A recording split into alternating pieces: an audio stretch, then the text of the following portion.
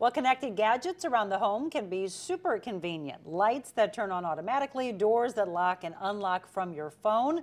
The list goes on and on. But making sure all those different devices work together, well, that's a little more complicated. In our Consumer Reports, Mike Bush explains our modern connected lives are about to get a lot simpler very soon. Derek Flowers finds it frustrating that his family's smart home devices don't all work together. You have to choose if you want to work mainly with Alexa, with Google, or with Apple, or with something different altogether. But thanks to the new Matter smart home standard, that's all changing.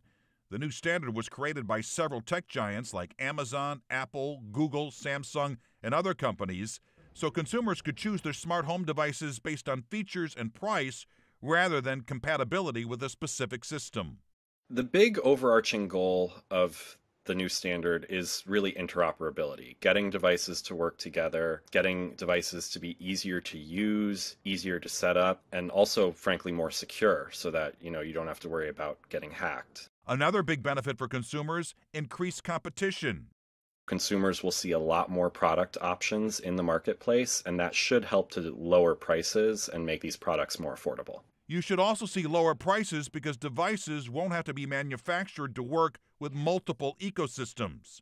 Right now, Matter supports a handful of smart home products like door locks, light bulbs, thermostats, and TVs. But you can expect much more in the future, including home appliances, security cameras, and smart speakers. So, how do you know what smart home devices support Matter?